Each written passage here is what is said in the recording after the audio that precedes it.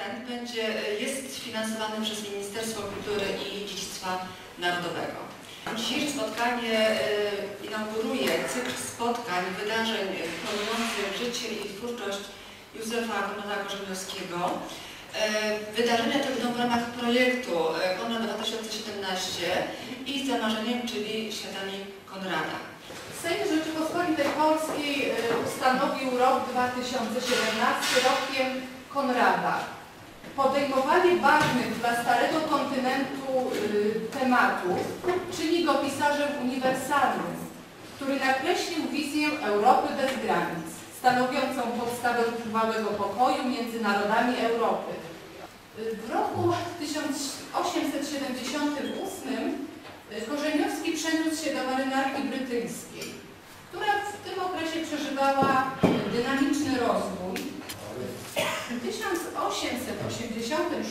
roku uzyskał obywatelstwo brytyjskie. Y, Zaczął wówczas myśleć o porzuceniu pracy na morzu. Y, Przede wszystkim ze względu na zły stan zdrowia, że Anglikom dowiodłem, że szlachcic z Ukrainy może być tak dobrym marynarzem, jak i oni, i mieć coś do powiedzenia w ich własnym języku.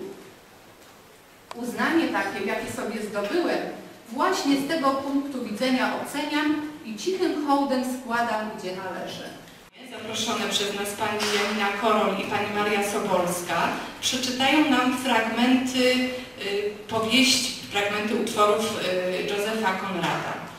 Ponieważ zaś w tym wypadku owoce wspomnień są produktem mojego ogrodu, moja troska o nie jest aż nadto zrozumiała. To znaczy on bardzo chce, żeby czytelnik widział, jak on ocenia i dobro i zło. I choć niektórzy krytycy wyrażali ubolewanie, że nie napisałem tej książki o jakieś 15 lat wcześniej, ja żalów tych nie, nie podzielam. Jeśli bowiem postanowiłem napisać ją w tak późnych latach życia, to jedynie dlatego, że odpowiednia chwila przedtem nie nadeszła. Powieść nosi tytuł Ocalenie. Są tutaj też, y, można powiedzieć, takie opowiadania stanowiące fragment tego ocalenia. I on pisze tak. Z trzech długich powieści, które napisałem z przerwami, ocalenie musiało czekać najdłużej, aby los się nad nim zmiłował. Nie zdradzę tu żadnej tajemnicy, gdy stwierdzę, że powieść ta czekała okrągłe 20 lat.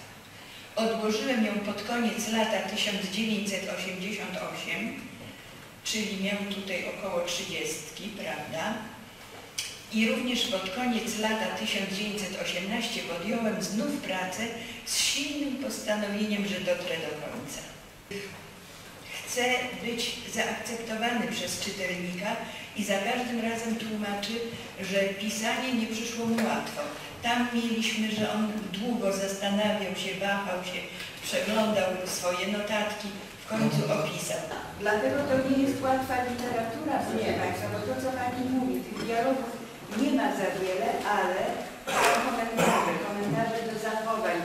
Pokazuje też i walkę tych zanim podejmą decyzję.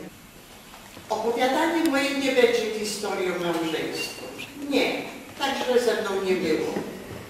Mój postępek, jakikolwiek nierozważny, miał raczej cechę rozwodu, jeśli niezwykłej dezercji. Bez żadnej przyczyny, która by potrafiła usprawiedliwić moje postanowienie w oczach rozsądnego człowieka, opuściłem stanowisko, rozbiłem swoją przystań.